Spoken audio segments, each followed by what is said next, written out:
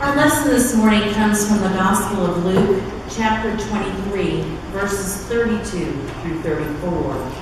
Hear now the Word of God. Two others also, who were criminals, were led away to be put to death with him. When they came to the place that is called the skull, they crucified Jesus there with the criminals, one on his right and one on his left. Then Jesus said, Father, forgive them, for they do not know what they are doing. The word of God for the people of God. Thanks be to God. Somewhere in the middle of the year in 1940, the British cracked the Enigma code that the Germans were using. This is in the beginning stages of World War II. And the British could now, sometimes at least, listen in on what the Germans were planning to do. Now, if you're in the military, that is a very helpful thing to have happen in order to know what it is that the enemy is planning on. So towards the end of 1940, the code crackers then reported to the higher ups in the military and the government because the Germans were going to plan a bombing raid. And they were planning the bombing raid on a city known as Coventry. And then there was a huge debate. Because on the one hand, you know, the first instinct is, oh, we know where there's going to be a bombing raid. Let's get those people out of there. Let's evacuate the city of Coventry. But the other side of the debate said, if we evacuate Coventry before the bombing raid, that will then tell the Germans that we understand their code. And they'll change their code and then we might not know something militarily later on. And it was a fierce debate, and there wasn't much time, and finally the decision was made. And the town of Coventry was not warned of the bombing. November the 20th, 1940, Coventry was bombed. Now, somewhere in there, I think there's pictures. Coventry had a 13th century cathedral. And this is what was left of it the day after the bombing.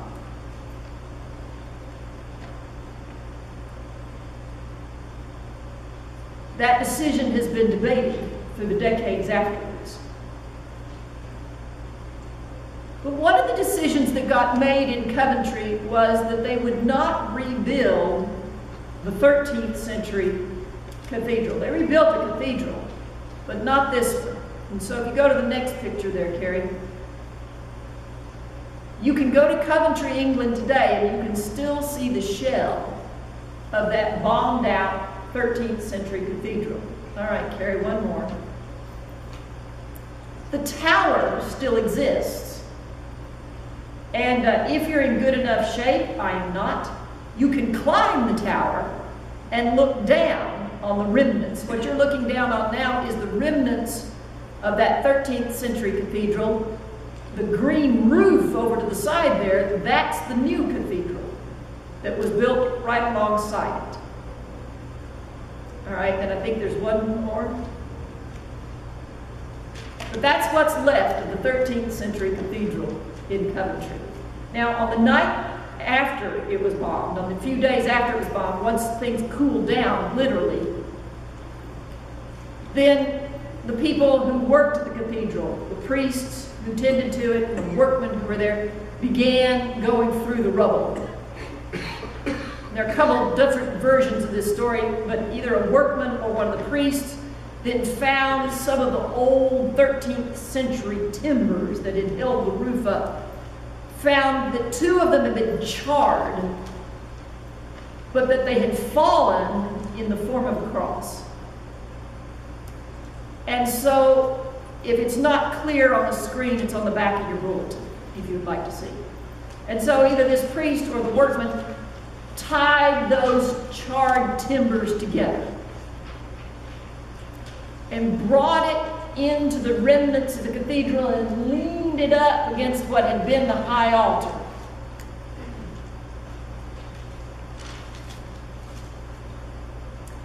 And then the provost of the cathedral, in his Christmas message, announced that there would be no attempt at retribution for the destruction of the, of the cathedral. Now, that doesn't sound like much to us today, but in 1940, the Blitz was on. The Germans were bombing London on a regular basis. They were bombing all along the southeastern coast of England. And it's not helpful propaganda if somebody stands up and says, well, they bombed our church out of existence, but we're not going to seek retribution. That does not help recruit military people at all. It does not help keep up the fighting spirit. And what the priest did next caused a huge storm, at least theologically, because what he did was he went back to that wall and he wrote on it, Father, forgive. Now, that doesn't sound like a huge theological storm off the top of your head, does it? Basically, he was quoting those last words from Jesus, from the cross. Father, forgive. Now, Jesus, of course, Father, forgive them, for they do not know what they are doing.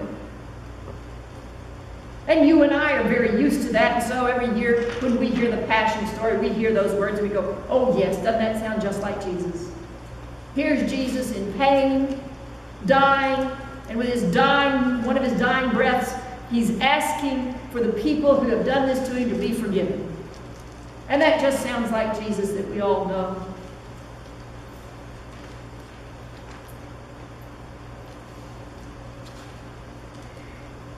And it does sound like the Jesus we know.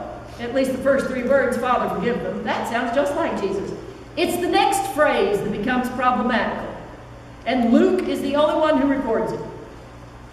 And so you have to begin to ask, what was Luke saying? Because Luke adds another phrase, Father, forgive them, for they do not know what they are doing. And in Bible study on Wednesday night, I asked the group, I said, all right, who is it that doesn't know what this, what's going on here? Who is it that does not know what they're doing? Do the Roman soldiers who are hammering nails into human beings' arms and legs, do the screams of those men not tell them that there's something going on here? Do they not know what they're doing? Does the crowd that gathered at Pilate's palace and shouted, Crucify him! Crucify him! Do they not know what crucifixion is and what's going on? How about Pilate himself? Pilate's a government official. Does the government official not understand that giving in to peer pressure is not how you govern? Does Pilate not understand what's happening? Even tried to foist him off. Oh, you're from Galilee? That's Herod's department. This is King Herod, the son of the Christmas King Herod. This is King Herod Antipas. And so Pilate ships Jesus over to King Herod and says, You deal with him. And King Herod wanted a miracle, and Jesus didn't provide a miracle.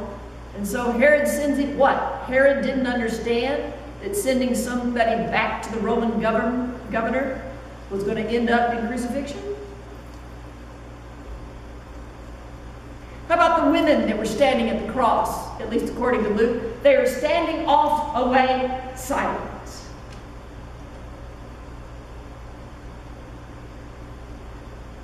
Do silent people not understand that if you stay silent while something wrong is going on, what's going to happen? The Bible study even pushed me. What about Judas? What about Judas? You think that betraying your friend for money and you don't know what's going on? I think Luke was in high ironic form. Father, forgive them, for they do not know what they are doing. Who is it exactly that doesn't know what they're doing? The priest at Coventry created a theological firestorm because what he wrote was, Father, forgive. And he didn't say them. He left it a little on the ambiguous side. And 40 years later, when it came out that the Enigma Code had been broken and that the government knew Coventry was going to get bombed, it got a little more ambiguous. Father, forgive.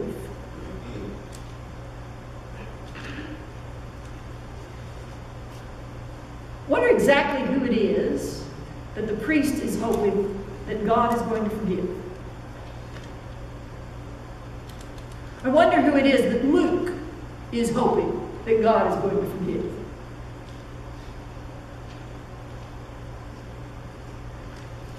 The people who are causing other people pain because we're just following orders?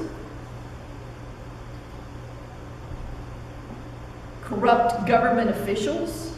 They don't know what they're doing? Friends who betray relationships, they don't know what they're doing?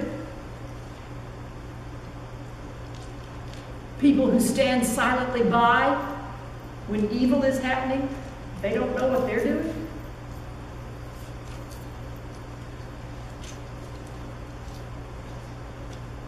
Governments who keep silent so they can save lives, they don't know what they're doing? Governments who declare war and bomb from the skies, they don't know what they're doing?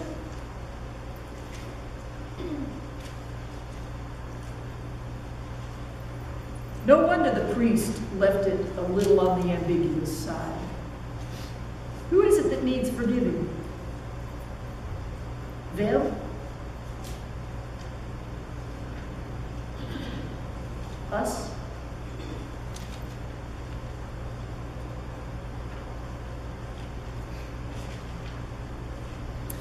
Every November in Coventry, on the anniversary of the bombing, there's a worship service that's held. In good weather, and of course in England, good weather is a dubious term.